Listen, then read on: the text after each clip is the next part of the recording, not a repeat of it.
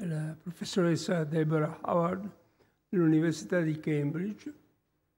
Parlerà della rappresentazione del mare nelle fonti iconografiche. Prego. Grazie per l'invito, mi fa onore essere presente in questo convegno di grande interesse, forse un, troppo interesse in, in questo momento fragile della città. Mi sentite? I miti sulla fondazione della città di Venezia sono intrecciati nella sua iconografia pittorica. Ciclo, al centro della prima cupola del ciclo della Genesi, nel nartece della Basilica di San Marco, la creazione del cielo e della terra si svolge in alto. La scena della separazione della terra dal mare funge da metafora per la fondazione di Venezia, nata dal mare, il cui terreno deriva dalla bonifica dalle palude della laguna. Cito dalla Bibbia. Dio disse, le acque che sono sotto il cielo si raccolgano in un solo luogo e appaia l'asciutto. E così avvenne. Dio chiamò l'asciutto terra e la massa delle acque mare. E Dio vide che era cosa buona. Fine citazione. A differenza di altre città portuali come Genova e Napoli, il porto di Venezia non è una baia abbracciata delle, dalle colline, ma l'intera città sembrava essersi gettata in mare dalla terraferma. Nel XVI secolo l'umanista Ignazio Danti descriveva ancora la città come, cito, fondata sull'acqua, circondata dall'acqua, con pareti fatti, fatte di acqua. Fine citazione. E le sue parole si trovavano citate all'esterno della sede delle, dei savi delle acque. Le acque poco profonde e salate della laguna non solo proteggevano la città dalle invasioni, ma permeavano l'intero sito. E ovviamente non devo sottolineare questo punto ai nostri giorni, purtroppo. Come osservato Sanudo, la città, città tra le fluttuose onde del mar sta in mezzo il vertice del pelago quasi come regina. Fine citazione. Ma il sito anfibio ha effetti sia positivi che negativi.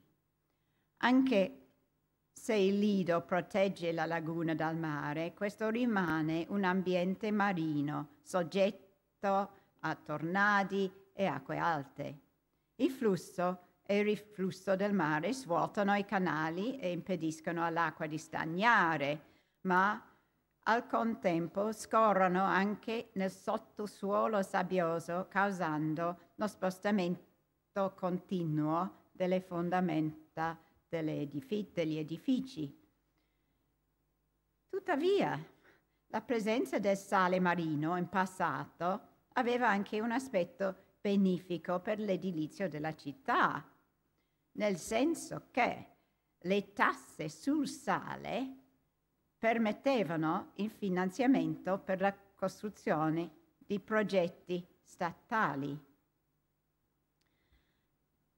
Dunque la polarizzazione fra gli effetti positivi e negativi nella, de, della presenza del mare caratterizza l'intera cultura marittima della città, quella visiva inclusa.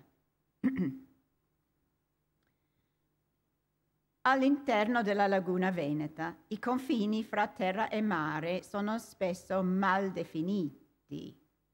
Le maree segnalano le ore del giorno, ma i loro limiti spaziali sono piuttosto ambigui. Numerosi banchi di sabbia o paludi esposti dalla bassa marea cambiano forma e dimensioni in base alle variazioni naturali dei livelli dell'acqua. Nel passato le basse maree esponevano paludi fangosi sulle rive della città e persino lungo il canale grande, com- come abbiamo sentito stamattina su Ca' Foscari, prima che i suoi confini si consolidassero nel XVI secolo. I cartografi trovarono modi ingegnosi per rappresentare queste zone intermedie. In questa mappa dell'isola di Sant'Elena, la palude è punteggiata e il movimento delle maree è indicato da pennellate fluenti. Si vede che eh, il, il rio che entra eh, qui è indicato con queste, queste linee. Il famoso progetto di Cristoforo Sabatino nel 1557 mostra il suo piano per creare margini solidi per tutta la città, in preparazione di un'ulteriore bonifica del territorio.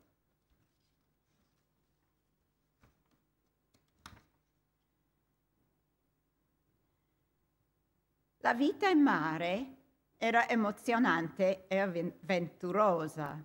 Marin Sanudo ha osservato nella sua descrizione della città di Venezia nel 1493, cito, ed è da saper che veneziani, così come stati, sono stati nel principio mercadanti, così ogni anno seguono. Ma c'erano anche enormi pericoli legati alla para, para, pirateria, al naufragio e alla guerra, per non parlare dell'estorsione e della, delle controversie sulle tariffe. In questo senso il commercio era una specie di gioco d'azzardo molto rischioso i commercianti dovevano, i mercanti dovevano accettare che la loro sorte dipendesse dalla fortuna, dal destino e dalla volontà di Dio. Quindi la religione era intim- intimamente legata all'impatto psicologico del commercio. Negli anni 70 del 400, Benedetto Sanudo ricordò a suo fratello Andrea, che stava per partire per Alessandria per la prima volta, cito, Avrai di continuo innanzi gli occhi il timore del nostro Signore Gesù Cristo, Cristo e cercare di non offendere la sua maestà in cosa alcuna con dir ogni giorno il tuo ufficio è la tua corona. Fine citazione. Abbondavano, abbondavano le superstizioni, come sappiamo, dalle narrazioni dei pellegrini. La vista dei delfini in mare era considerata un segno di fortuna, mentre le tempeste, le peste e i terremoti, a quanto pare portatori dell'ira divina, provocavano terrore a bordo della nave.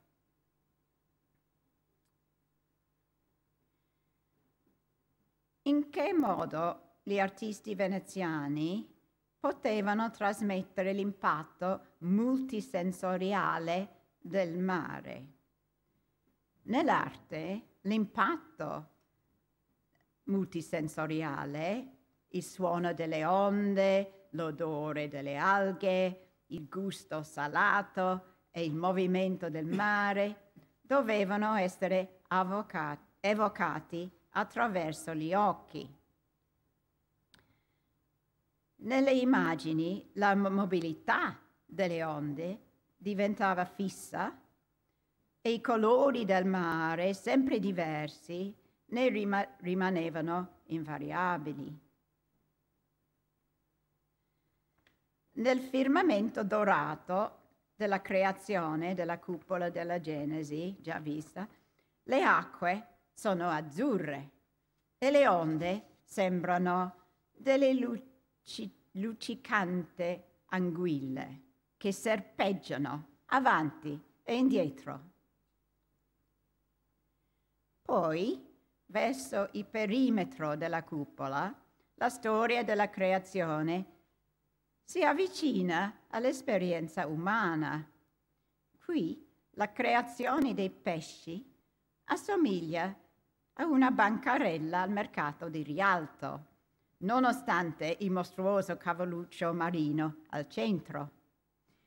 I materiali del mosaico, rigidi, rigidi e quindi non duttili, potrebbero sembrare estranei al, al, alla rappresentazione di un mezzo liquido, ma il lucicchio sulle tessere di vetro aiuta ad animarne la superficie.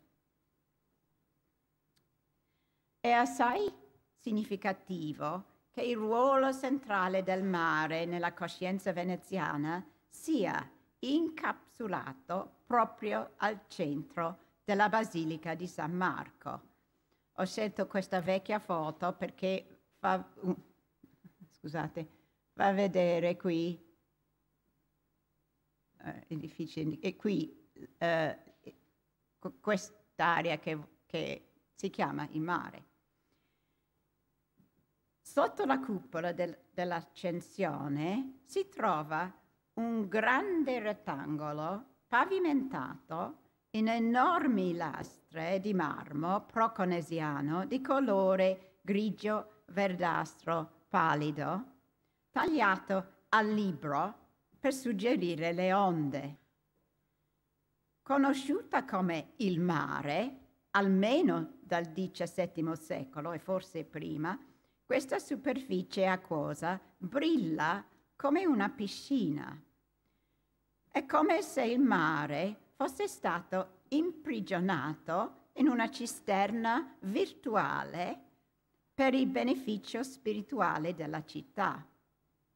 La cattura astratta del mare nel cuore del dominio spirituale della Repubblica è ricca di potenti simbolismi.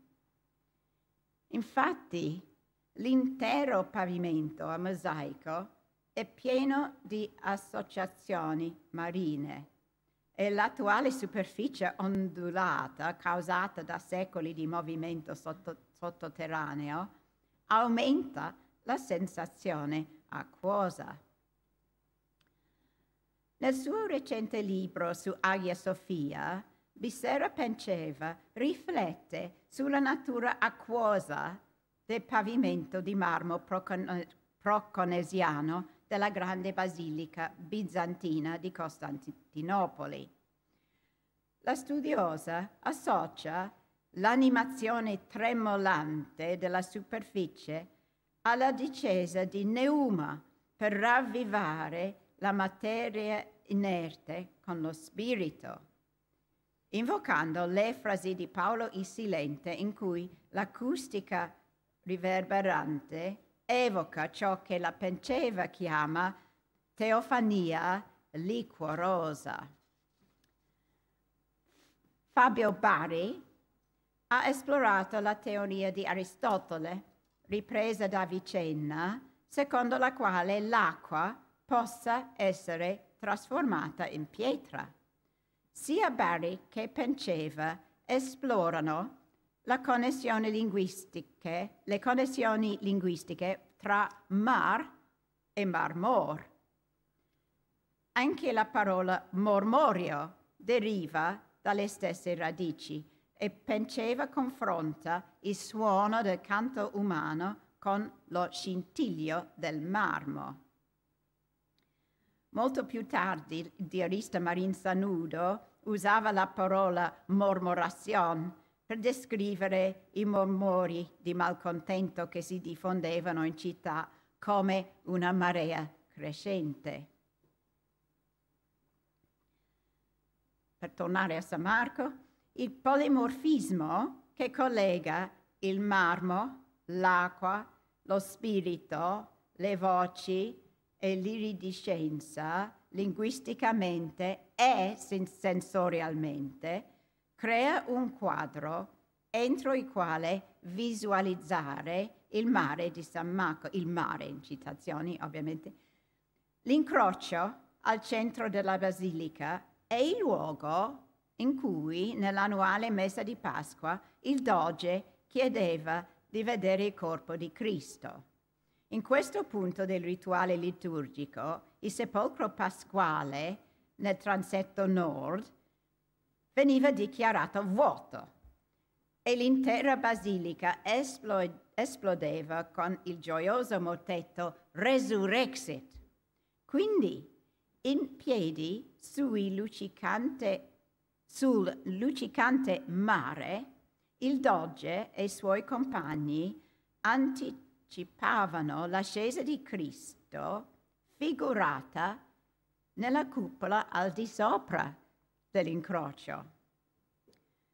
L'ascensione, che si svolge 40 giorni dopo Pasqua, ovviamente, è la manifestazione ultima del trionfo di Cristo. A Venezia la festa del senso era non solo l'occasione della famosa fiera annuale in Piazza San Marco, ma anche, come sapete tutti, quella del rituale dello sposalizio, il matrimonio del doge con il mare. In questo caso i generi, i generi maschile e femminile di Venezia e del mare, a mio avviso, sono ambigui. Ed Edward Muir, nel suo libro Civic Ritual in Renaissance Venice, insiste sul fatto che la sposa è il mare, la mer, il mare, ma la mer femminile, come nella narrativa francese di Martino Canal nel 1267 che verrà data in sposa al doge maschio.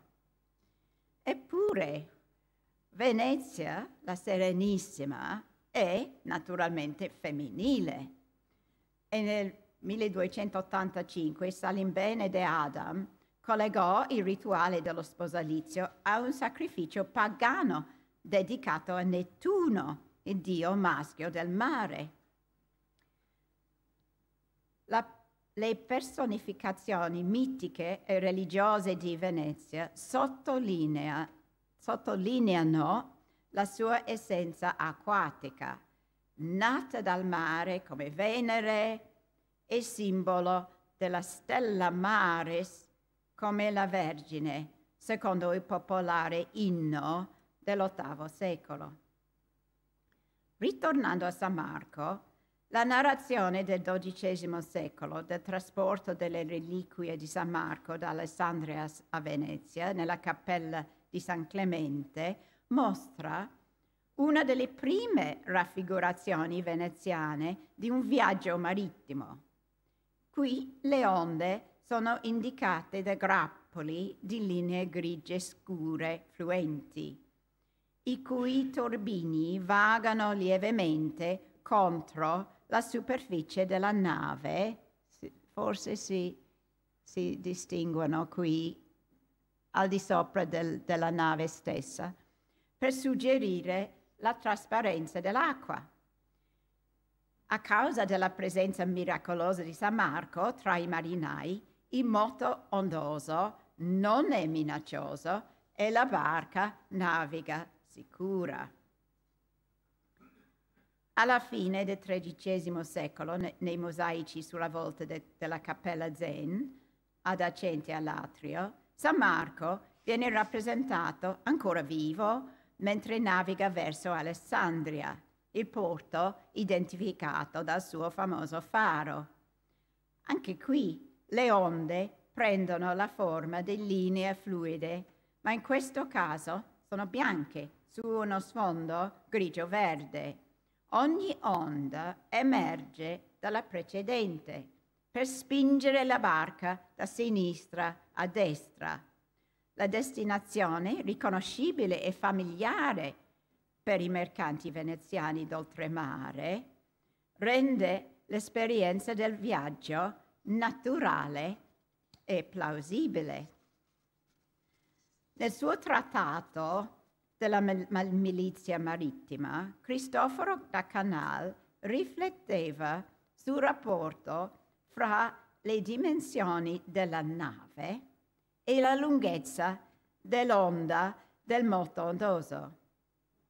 Una barca che poteva cavalcare tre onde contemporaneamente era più sicura.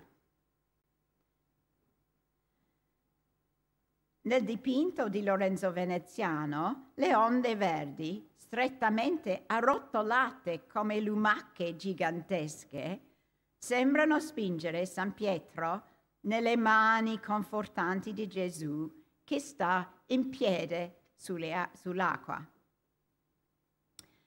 I duri tratti ondulati per rappresentare le onde in questi, questi mosaici furono impiegati anche dagli scultori, come si vede nel medaglione della giustizia sul Palazzo Ducale e sulle basi in bronzo di Alessandro Leopardi, erette per i pennoni davanti a San Marco nel 1505. In tutti e due questi casi si distinguono dei delfini, simbolo della fortuna.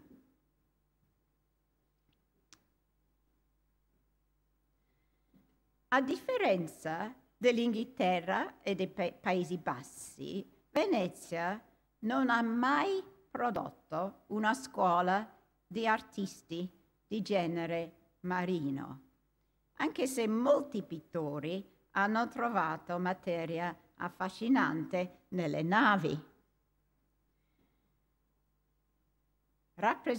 rappresentazioni elaborate di vari tipi di navi nel ciclo di Sant'Orsola del Carpaccio ricordano il significato dei riti di imbarco e di sbarco nella vita veneziana.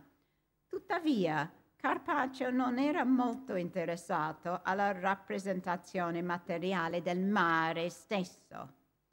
L'immagine più poetica di Carpaccio si trova nella sua caccia nella laguna, dove un cielo chiazzato di nuvole, illumina la superficie latiginosa delle acque, ma questo quadro rappresenta un contesto assai benign, benigno e familiare.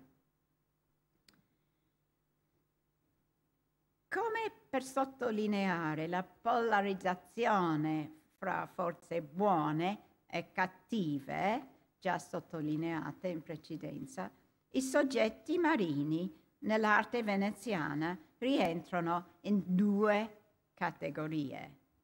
Quelli in cui i pericoli della gente di mare provocano terrore e quelli che raffigurano paesaggi marini tranquilli e illuminati dal sole.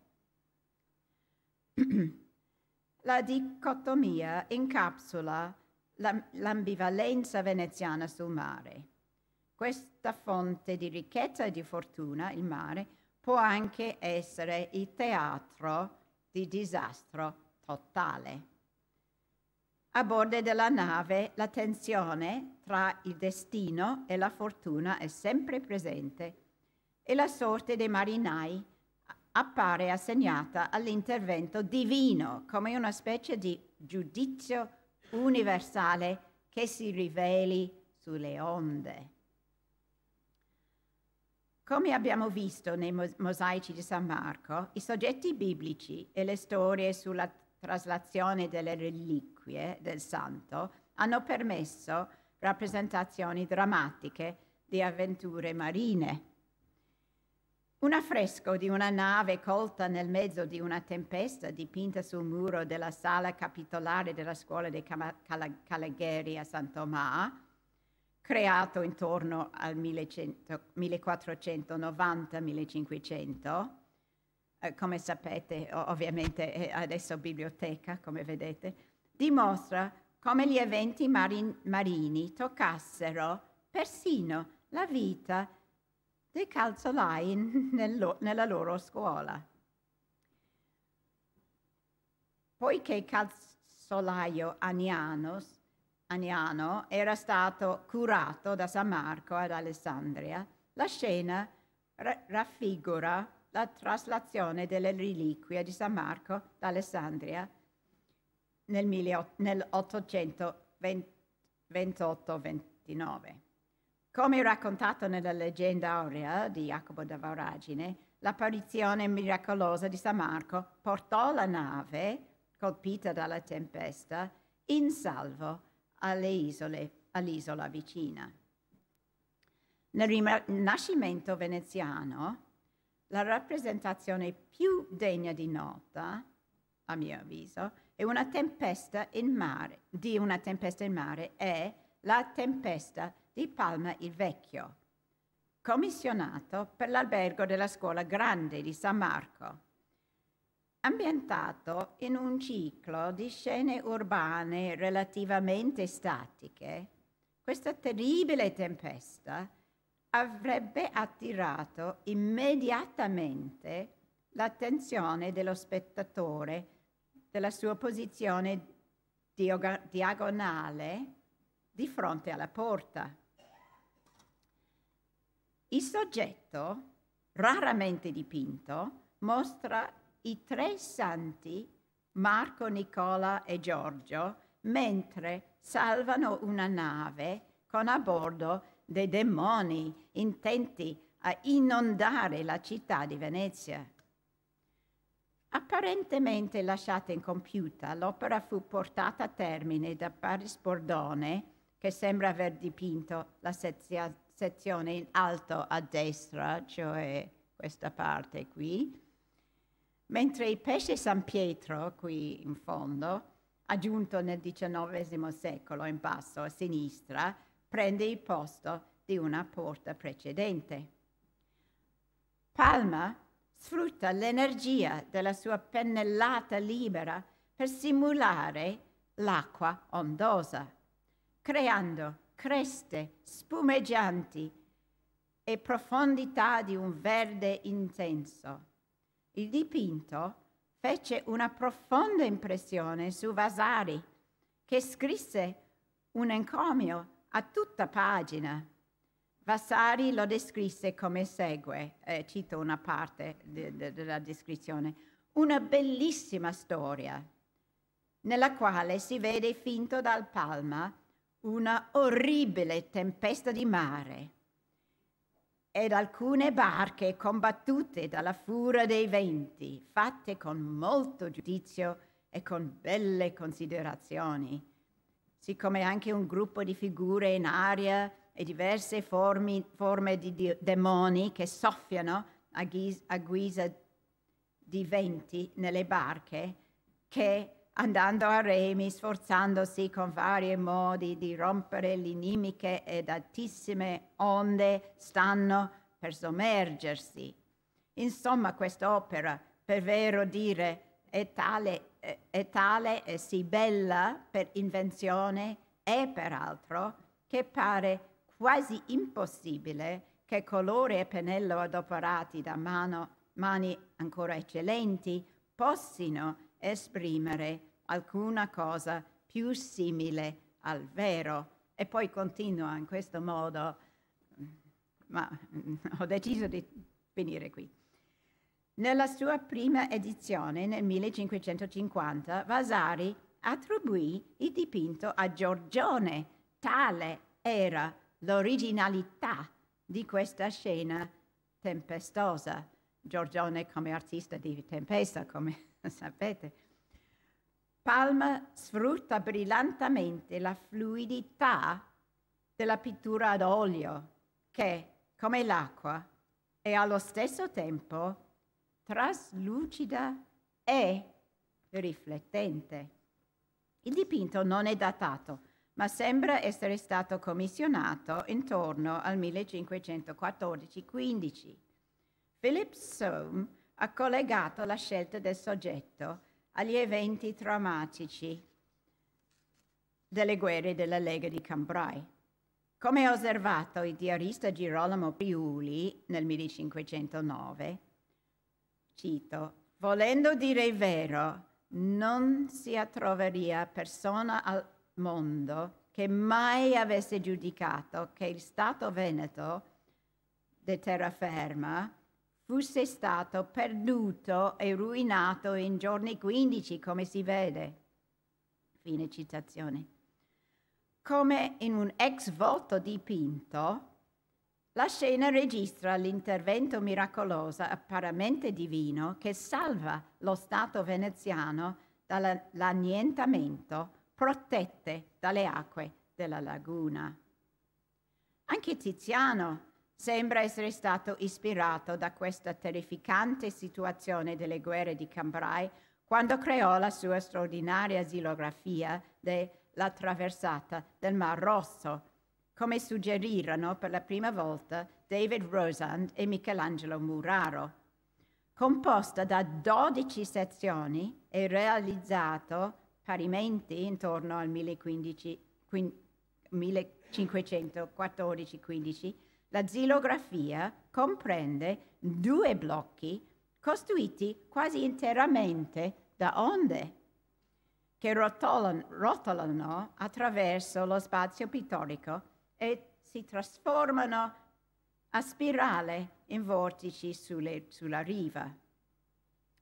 Il silenzio eloquente degli spazi vuoti suggerisce la caduta della luce, lucenario sulle creste, mentre le fluide linee curve tracciano con sicurezza la traiettoria delle onde.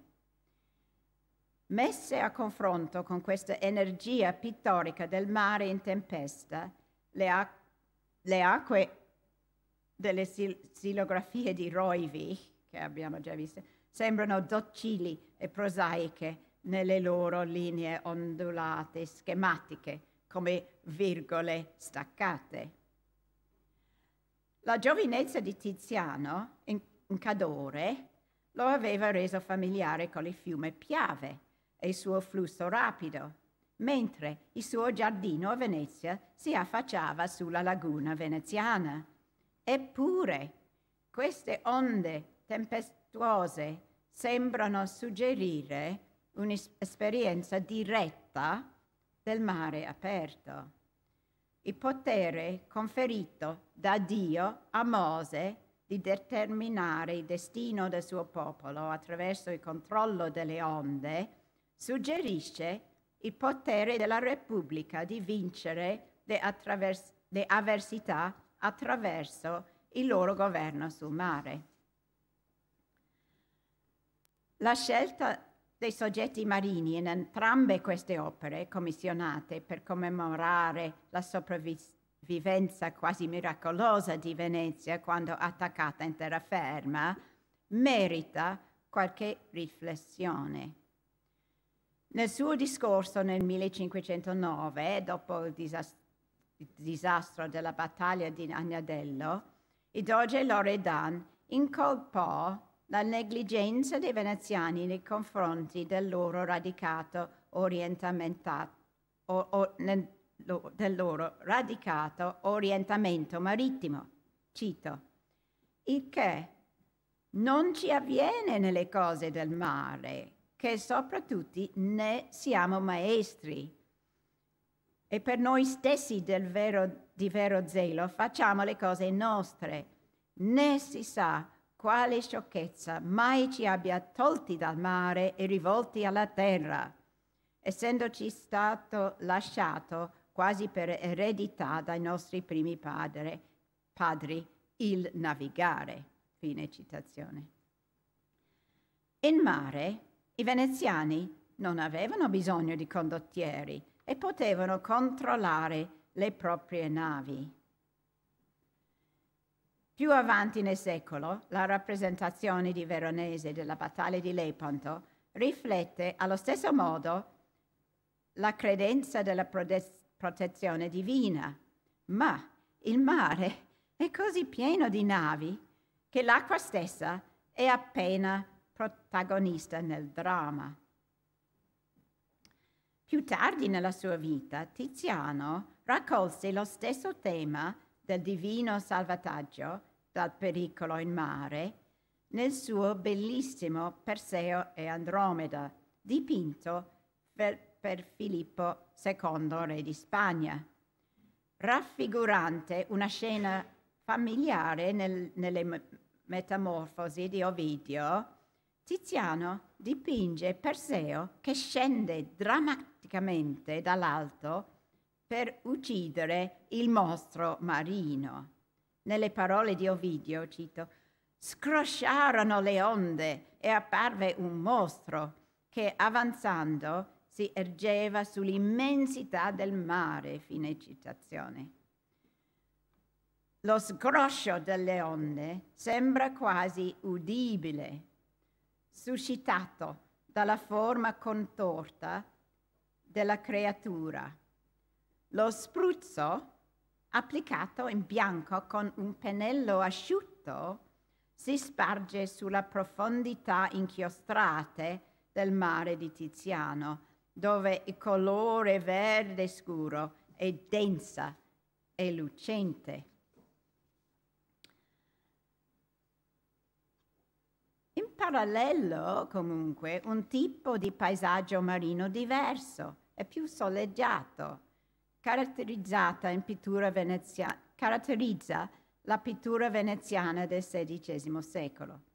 Nel suo Bacco e Ariana, il mare calmo si addice all'umore festoso del quadro. La sua superficie riflette l'intenso azzurro ultramarino del cielo anche se il rapporto di restauro della National Gallery ha dimostrato che il mare, come il lontano paesaggio, è stato dipinto non in ultramarino, ma in azurite, per dare una sfumatura leggermente più verdastra. Sullo sfondo di destra della minuscola, eh, grande così, eh, immagine di lotto di San Giacomo Maggiore, una vela bianca sul liscio mare azzurro segnala la nave che trasportava le reliquie del santo attraverso il Mediterraneo, come raccontata nella leggenda aurea. Nel ratto d'Europa di Tiziano, dipinto ugualmente per Filippo II, i drappeggi volanti e le nuvole flu- flu- fluttuanti suggeriscono un forte vento, ma il mare è liscio e luminoso e la lontana nave incorniciata in grembo di Europa sembra navigare in sicurezza.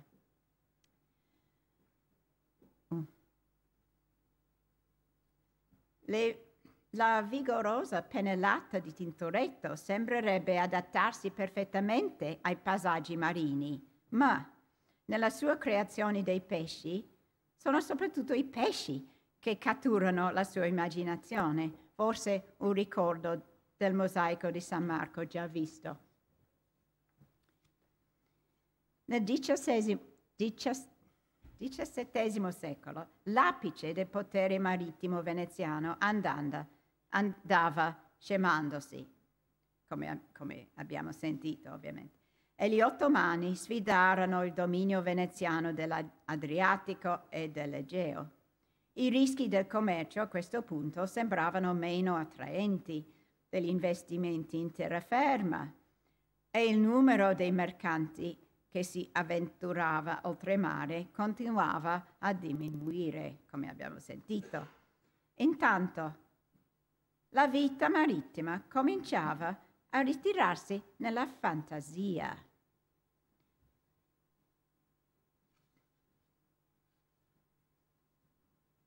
Ho rovesciato... No? Che cosa è successo?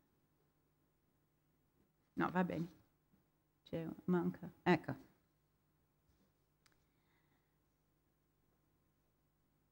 Man mano che l'opera lirica si stabiliva a Venezia, le tecniche teatrali barocche cominciavano ad evolversi così da poter rappresentare i paesaggi marini.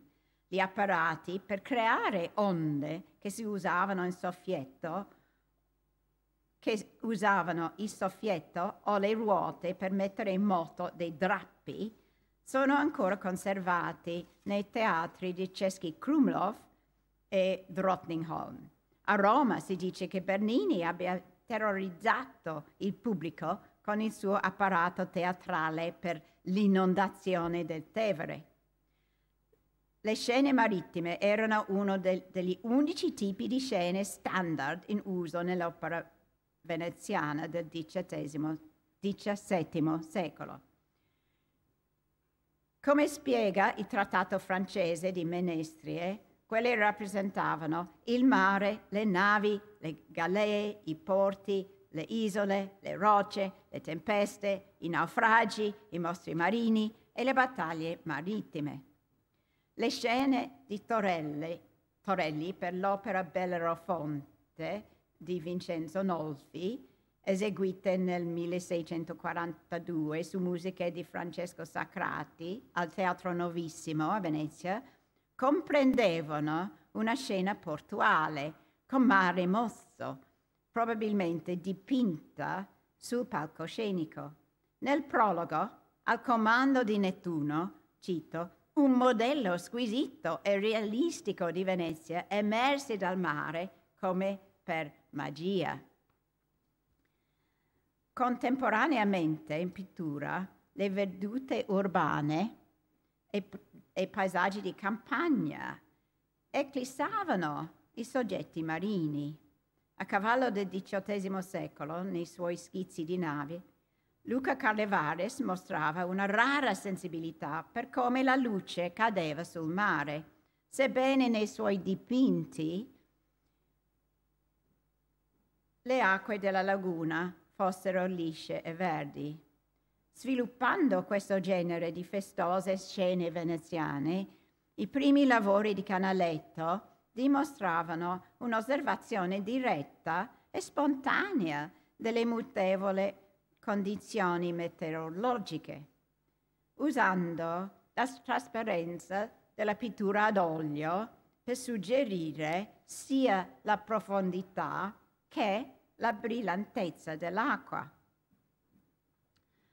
Nella sua carriera successiva, tuttavia, adottò una scorciatoia, dipingendo serie di archi bianchi staccati per suggerire le onde nel bacino. È come se si basasse sull'insistente regolarità di questi, archetti, questi archetti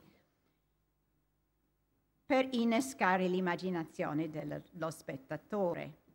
Ormai il pericolo del naufragio era svanito nella memoria storica, ma le evocazioni delle tempeste erano frequenti nella musica barocca, attingendo alle drammatiche risonanze di tormentate armonie e ritmi complessi come nel concerto per flauto di Vivaldi La tempesta di mare, composta alla fine degli anni venti del Settecento.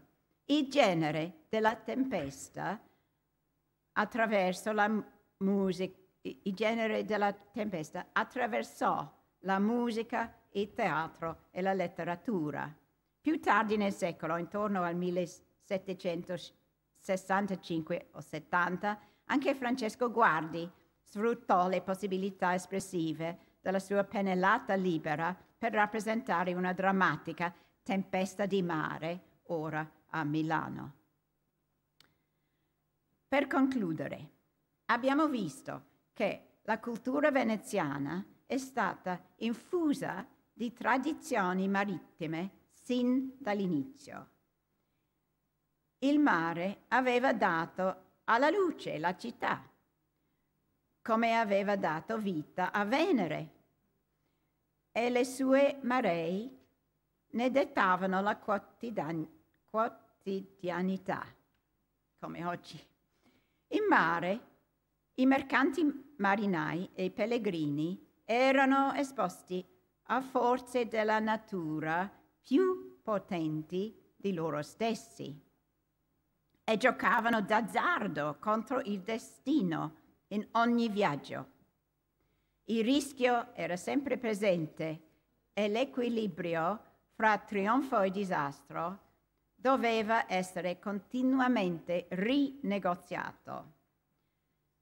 Sia i pericoli che i premi hanno trovato la loro espressione nell'arte come nella vita, oscillando tra gli estremi opposti della catastrofe e del successo.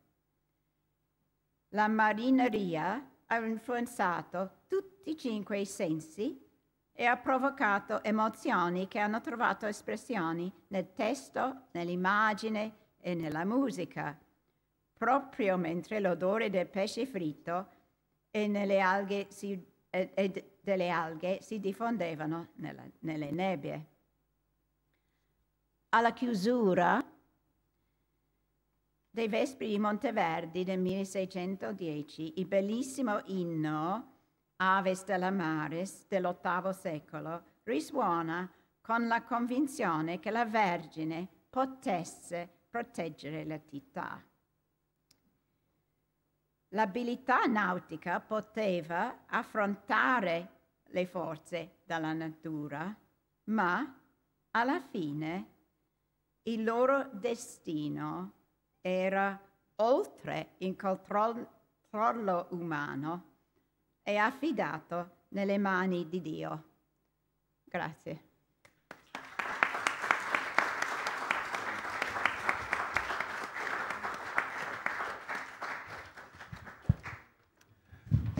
Grazie professoressa. Scusate.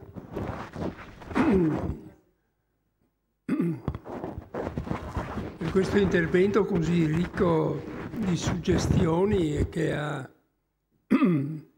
alla base una ricerca notevolissima. Ora, i tempi sarebbero piuttosto stretti in quanto, stando all'appunto che mi è stato consegnato, la colazione di lavoro dovrebbe cominciare tra tre minuti. e, e, quindi eh, non credo ci sia la possibilità di un dibattito sulle relazioni di questa mattina e eh, passo direttamente alle conclusioni che il programma prevede e che è affidato un po' sconsideratamente al sottoscritto. Sconsideratamente perché non sono uno storico del Medioevo, assolutamente, e anche l'età moderna l'ho frequentata soprattutto riguardo al Settecento. Vorrei comunque riprendere, partendo da cose che conosco,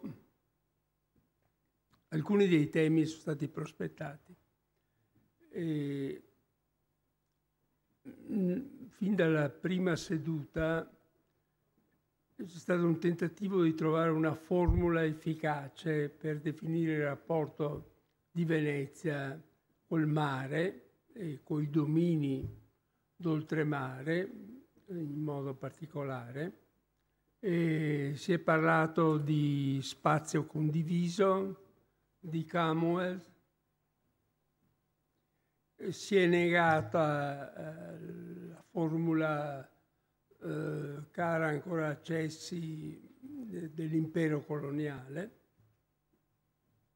Ora, eh, dal mio modesto punto di vista, credo che eh, sia un'illusione quella di trovare una formula pregnante che vada bene eh, Venezia è una città eh, che ha una storia estremamente contraddittoria, in cui ci sono aspetti eh, diciamo coloniali e aspetti di spazi condivisi, volendo adoperare le formule. E eh, è una tesi che proverò a affermare partendo appunto da uh, due esempi. Eh, Patrizio, che mi è stato molto caro, per il quale ho scritto anche la voce per il dizionario biografico degli italiani, Giacomo Nani, che tra l'altro nacque qua vicino, nella parrocchia di San Maurizio e apparteneva al ramo eh, maggiore che poi erediteranno il palazzo di San Trovaso. Era il terzo di quattro fratelli e stando alle strategie familiari eh, fu deciso che facesse il, l'ufficiale di marina, diciamo così. Fu nobile di galera, di nave, governatore di nave, patrona, almirante, capitano delle navi e poi dopo parecchi anni provveditore generale da Mar. Quindi percorse tutta eh, la carriera. Dedicando al fratello Bernardo, che era invece un membro della consulta dei Savi, eh, fu per molti anni Savio Cassier, cioè il ministro delle finanze, e poi Savio del Consiglio, un'opera sulla difesa di Venezia, che era un apax assolutamente, nessuno aveva scritto fino allora sulla difesa di Venezia perché si pensava che appunto il mare la preservasse, ma eh, Giacomo Nani è stato molto colpito da quello che stava combinando durante l'inizio della guerra dei sette anni Federico II, assediando Praga, eccetera, e quindi decide di scrivere quest'opera. E la dedica appunto al fratello e, e nella dedica scrive per colpa non sua iscritto ad una inerte e oziosa milizia. La strada del mare non mi piace né mai mi piacque. La definisce un'inutile fatica, travaglio di animo e di corpo. Quindi c'è apparentemente un rifiuto brutale di questa. In un altro passo scrive a Venezia odiano le cose di mare. E quindi siamo su una posizione che apparentemente di eh, rifiuto assolutamente del mare, ma neanche non è che sia bilanciata da interessi te- terrieri o così via. E, e però eh, eh, Nani è quello che dedica la maggior parte del suo tempo a un'opera monumentale, sono cinque tomi, tra i quali metterà come quinto appunto la difesa di Venezia, alle memorie sopra le militari imprese dei veneziani. Quindi è la massima celebrazione della storia navale. Uno di questi tomi si chiama Memorie manoscritte per servire alla storia militare e marittima della Repubblica. È, esprime appunto con questa sua attività di ricerca eh, scientifica un eh, amore per le imprese militari, imprese veneziane, che poi sono appunto l'istoria militare marittima, quella terrestre non dedica nessun passaggio, che appare affatto impressionante. Nel 1796, siamo alla caduta della Repubblica, Nani, eh, essendo sopravvissuto al cugino Angelo Emo, che si era illustrato con eh, la guerra contro Tunisi, eh, viene scelto come provveditore alle lagune Ailidi, cioè il, eh, colui che deve difendere Venezia dall'invasione duplice, francesi da una parte e austriaci dall'altra. E però Nani ai suoi anni e nell'aprile, all'inizio dell'aprile del 1797 muore. E naturalmente la storia va avanti. All'inizio di giugno Bonaparte, che è alla testa dell'armée d'Italie, dichiara guerra a Venezia. Venezia cerca di evitare il conflitto, gli manda un'ambasceria. la quale cerca di trattare con Bonaparte, ignorando che due mesi prima a Leoben Bonaparte si era già messo d'accordo con gli austriaci sul destino del Veneto, che appunto era già stato ceduto all'impero e quindi non c'era nulla da fare. Ma eh, Bonaparte eh, prende in giro i tre ambasciatori veneziani che sono stati mandati e gli pone un'alternativa. Cosa preferite?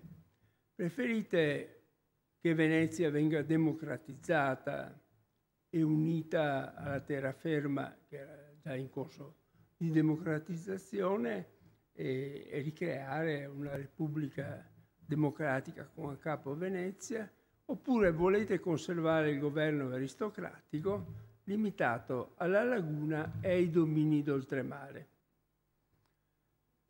Gli ambasciatori rimangono un po' esterefatti di fronte a questa scelta, decidono di consultarsi con Venezia, dopodiché danno la risposta e dicono per amore della pace accettiamo la de- democratizzazione.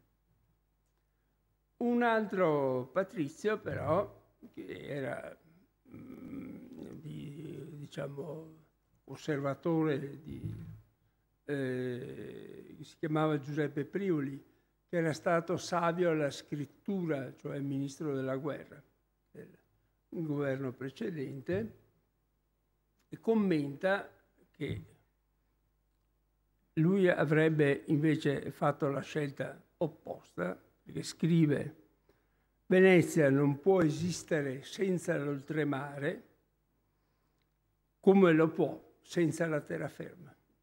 Quindi abbiamo ancora la fine della Repubblica dibattito che non aveva nessuna importanza dal punto di vista effettivo, però una contrapposizione radicale, questo senso del mare, è, è al centro di una mancanza di, eh, eh, dire, di progetto complessivo, di armonia, perché le linee di visione all'interno dello stesso patriziato, ma nei fatti stessi, portano appunto ad avere questa eh, immagine estremamente contraddittoria della storia di Venezia che non si, eh, diciamo, eh, non si supera neppure con la caduta della Repubblica stessa.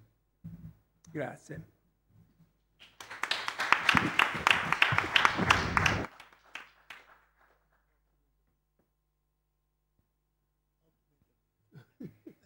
Breve, soprattutto breve. E ora, prima di eh, seguire il programma che appunto prevede la colazione di lavoro, ehm,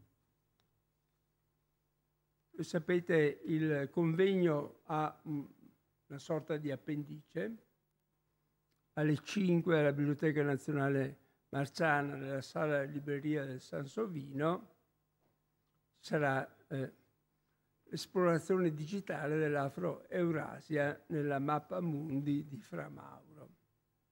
Ecco, eh, l'informazione è che si può accedere alla Biblioteca Nazionale Marciana dall'ingresso in piazzetta San Marco al numero 13A.